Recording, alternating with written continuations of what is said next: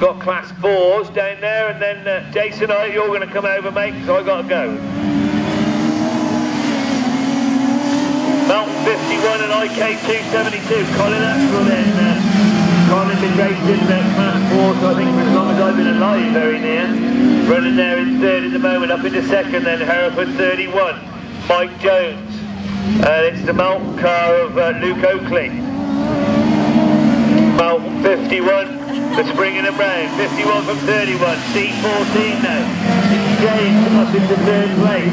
Colin Axel just struggling a little bit up into fourth place. Jamie Williams with uh, Axel on the outside. And then uh, Ray Tudgate in Wessex 23 just bringing up the rear of the uh, class 4s and uh, Merrin's Catering uh, open air actor this weekend. I think Merrin's Catering, the sponsors the 80 race engines, the uh, series sponsors.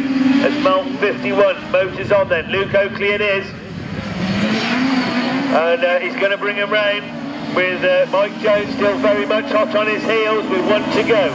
Mountain 58 now, didn't have the best of start for Jamie Williams. Up into third, he's looking to challenge for that second spot. There's C14 there in uh, fourth place, and 272 and the Wessex 23 car. So they're all on to the last lap now. It's going to be checkered flag this time around. 51 takes it then from 31.58, 14 and 272. So uh, hopefully.